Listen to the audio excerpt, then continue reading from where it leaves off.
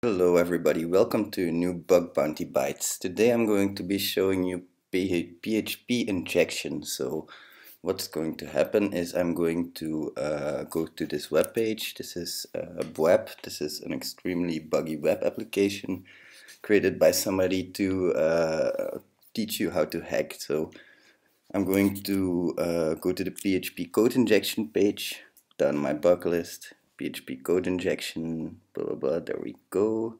Start a hack, and I'm going to set my security level to low. Now I'm going to walk you guys through all of the security levels, and you're going to see that some security levels don't work, and I'm going to be telling you why as well. So let's dive right into it. As you can see, we have a little hint right here. This is a test page reflecting back your message. So what I'm going to do, I'm going to assume that since this is PHP and since they are reflecting my message, I'm just going to try the parameter message. Now as you can see, I already tried it a few times, I already got some results. And as you can see, if I uh, add a parameter message, it reflects the value of my parameter.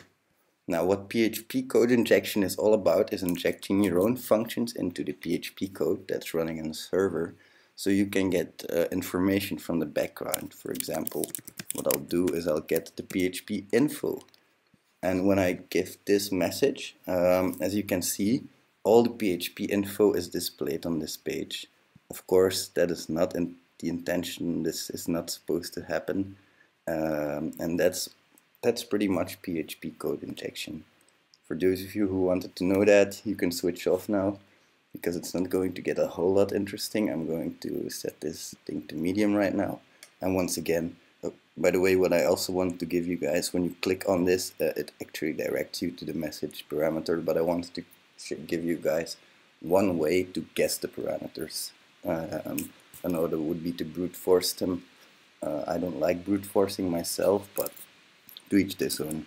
So um, I'm going to try the same here, and as you can see, this won't work.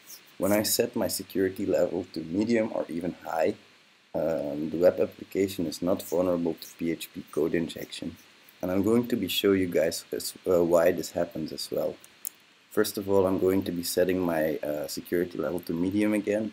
And I'm going to do the same PHP code injection again, so PHP info. And then I'm going to copy this for a second. So uh, we're going to go to the source code right now.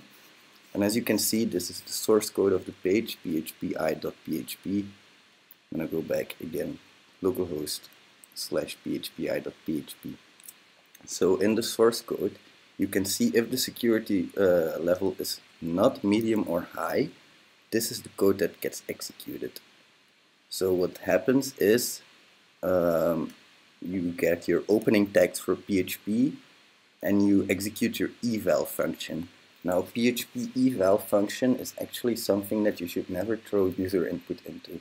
This is something that can execute the user input uh, in any way, shape or form. So when I input a command in here, as you can see, it starts with echo and then it starts um, putting out your request message and then um, it evaluates that whole function and the evaluation pretty much tells it to execute anything that it finds inside of this function.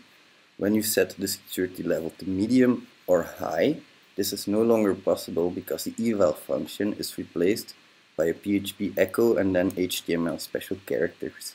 This special character, this HTML special characters function also filters out um, the less than and greater than signs so cross-site scripting also becomes a lot harder, if not impossible, when you use the HTML special characters tag.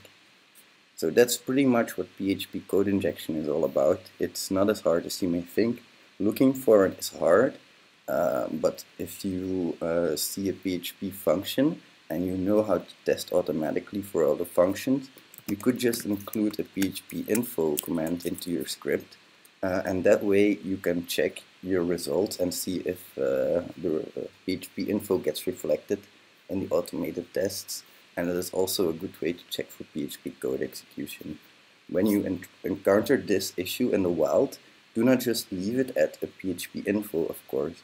You can do a lot more like local file inclusion, you can do uh, a reverse shell to get remote code execution this way, but I'll be going more into depth in that later.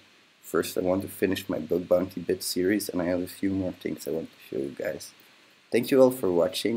Uh, if you like this video, please leave a like. Share this video with your friends. Uh, it helps a lot. Uh, thanks for watching and I'll see you guys in the next one. Bye.